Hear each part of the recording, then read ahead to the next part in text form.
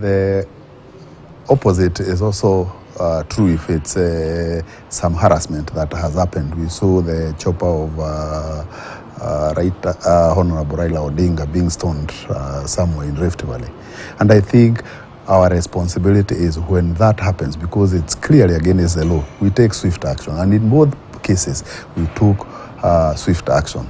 Uh, Honorable Raila Odinga, after that incident, has gone back to Rift Valley and there has not been violence.